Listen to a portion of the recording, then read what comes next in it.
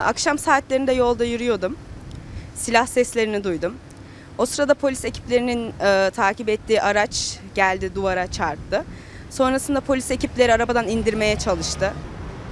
E, bayağı bir yoğunluk vardı. Sanırım çıkartamıyorlardı. Çıkmakta zorluk çıkarıyordu. Sonrasında kurşunlar birkaç eve isabet etmiş. Dükkana, eve onları öğrendik. Sen ne istiyorsun?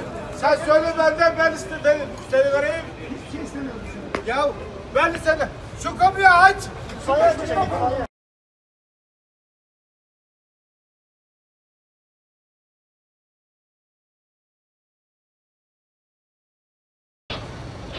E sen sen ne diyorsun kardeşim peki?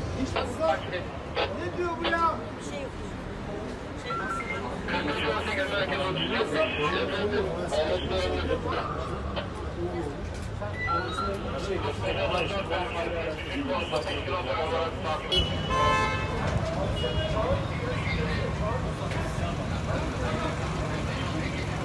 Hayır, birader bu konudan da